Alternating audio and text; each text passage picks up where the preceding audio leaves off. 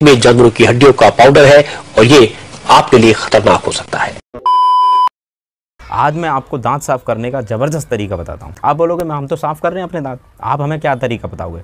आप जिस तरीके से अपने दांत साफ़ कर रहे हो, वो आपके लिए हानिकारक तो है ही। साथ में धर्म की दृष्टि से भी गलत है और आपके शरीर के लिए भी गलत है।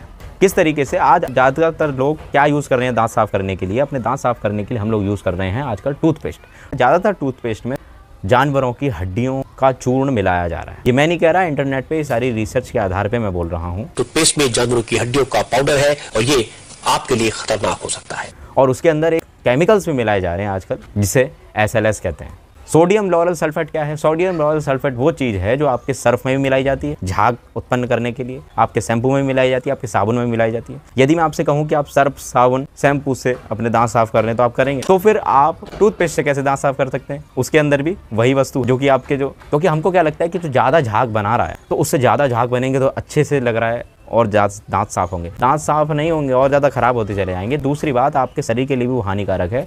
उनमें ऐसे तत्व भी पाए गए हैं कि उससे कैंसर जैसी महाभयंकर बीमारी भी हो सकती है। आप ऐसा भी कहा गया रिसर्च में। तो इसीलिए अब ये तो दोनों ही तरीके से गलत हो गया।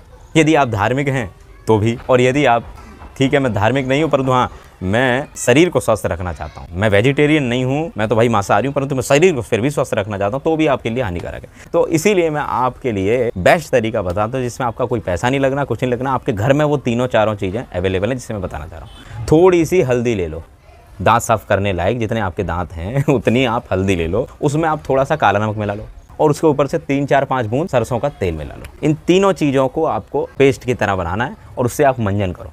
इसको मंजन करो। और मंजन करो, जिससे कि आपके दांत स्वस्थ रहेंगे, मस्त रहेंगे, सदा चमकेंगे। दांतों की जो कैविटी है वो जो दांतों में खून आता है, मसूड़ों से खून आता है, दांतों की जड़ें हिल रही हैं, ये उससे वो भी ठीक हो जाएगी।